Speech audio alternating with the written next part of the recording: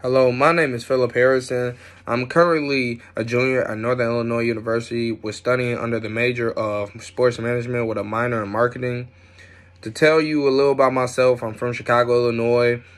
I'm the I'm the oldest of two. I have a younger brother. I'm originally from Atlanta. If that's a nice, interesting fact about myself. Um, to describe my work ethic, I would say I have a very strong, hard working work ethic.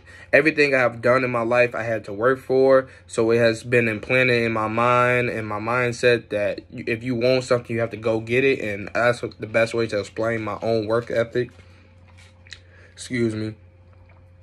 My greatest weakness is that I pay too much attention to details. I'm always worrying about the details instead of the main idea or the main picture. I feel like that's my biggest flaw my mm, excuse me once again my strengths is that my first strength is that I have a lot of patience.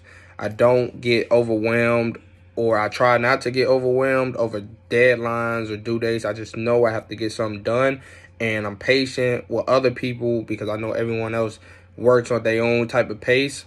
Another um, strength of mine is that I'm very trustworthy. I'm trustworthy with information communication or just possession of someone else's items. I've always make sure that someone was treating my items with care, I would do the same to theirs. So I always make sure that I'm taking care of somebody's stuff if it's needed. My last strength I would say is my dedication. Coming from uh from a home where I only have my mom and my father passed away when I was young, I was very dedicated to be the man of the house and be able to provide for my family and for myself. So I feel like I still have that dedication in my mind, even though I'm 21, 22 now, and I'm still trying my best to be the best man I could be. Going into the business world, my ideal work environment is somewhere where everyone works as a team.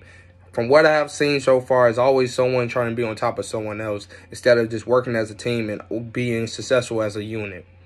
Where do I see myself in five years? I see myself in five years actually being a part of a, a professional organization like I said I wanted to in the beginning.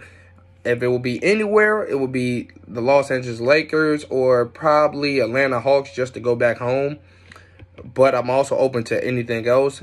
And to evaluate success for me, is just to be able to be comfortable with your financial situation, your family, and being able to say that you're happy in your life. I feel like success is just not about money, but just being happy in life. And that's all, and thank you for your time.